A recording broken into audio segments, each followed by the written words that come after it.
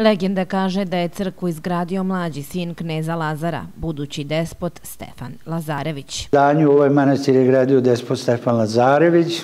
Naravno znamo da je Lazaricu gradio car Lazar i jedno predanje kaže da kada je došao car Lazar ovde u to vreme kada je crkva bila sagrađena oko, oko 1372. godine, car Lazar navodno je rekao šta ti sine na, na um pade da tu gradiš crkvu. Taj naziv Naupade, Naum pade je vezan i za imena manastira Naupare, tako da od tog vremena pa do današnjeg e, dana manastir nosi naziv Naupare, ali pored manastira i selo koje u isto vreme nosi znači ime e, po manastiru.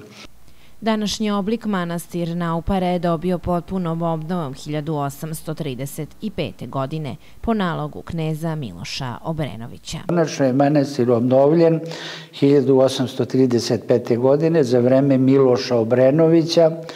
Jedan zapis kaže 2. juna 1835. godine osluže se prva sveta liturgija u novo otvorenom manastiru. Što znači da je to bila prva nedelja Petrovog posta i još kaže pričesti se blagoverni narod tog dana. Tako da to je bila prva nedelja znači Petrovog posta i od tada pa do današnjeg dana e, ne, nema nekih, e, da kažemo, promena na samoj crkvi, Ostalo je znači ovaj ono što je zatečeno, ono što je obnovljeno. Po arhitekturi manastir Naupare liči na nešto ranije sazidanu crkvu Lazaricu u Kruševcu i predstavlja spomenik Moravske graditeljske škole.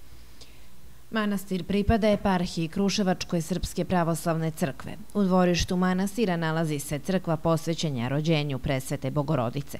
Crkva je zajedno sa neposrednom okolinom stavljena pod zaštitu države 1949. godine, a manastir je utvrđen za nepokretno kulturno dobro od velikog značaja 1979.